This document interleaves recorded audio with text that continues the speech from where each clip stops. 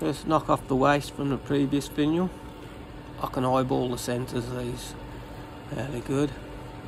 The position of the pommels is pre-marked. It's just a matter of cutting them with the long point of the skew and then rough out to the maximum diameter. And the descend the same, cut the pommel. I tend to rough one end to the diameter and then it's just a simple planing cut the other way to get to the correct size. Little touch tells me if there's any flats. And with the storyboard, small nicks so I can accurately mark the transitional points. I'll then do as much as I possibly can with the skew before anything else. This little bead near the pommel's a little bit tricky. And do the ball shape. Again, just slicing cuts with the skew. Reduce the shoulders where the cove will go. A V cut here because this diameter has to be reduced to this particular pattern. We remove some of the waste at the end. Take three quite aggressive cuts to get close to the size of this end. The tip is very close to the size of my tailstock to give me a guide.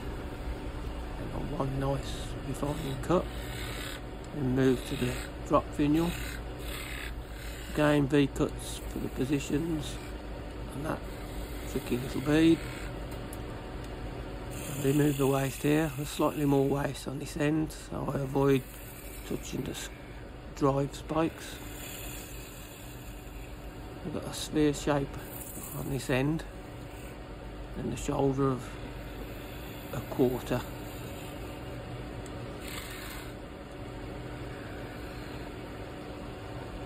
and move to the half inch spindle gouge. Finish that quarter off. Nice clean cut to the sphere. And the two coves. While I'm turning coves I tend to watch the, the top profile so I can see that I'm getting the correct shape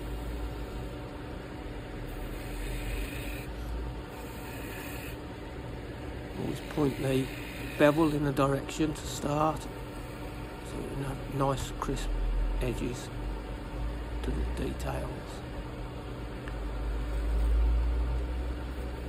Remove a little bit more of the waste quick look over and I can see I want to refine this ball at the end.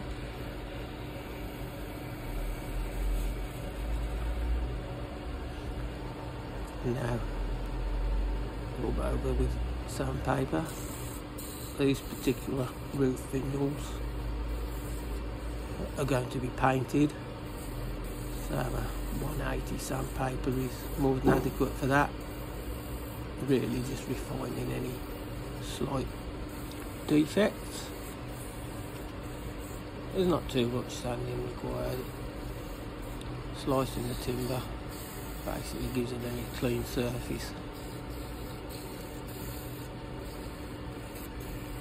Uh, now I've finished standing. If I just grab this sample to show you what it's meant to look like. There we go. Let's move it over there. Right we can now cut off.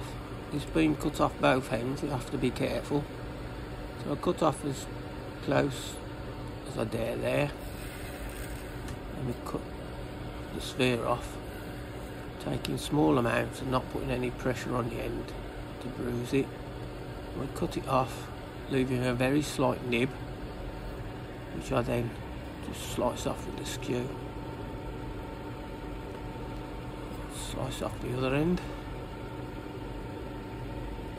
If there's anything left on, we can just touch it with sandpaper, and there we go.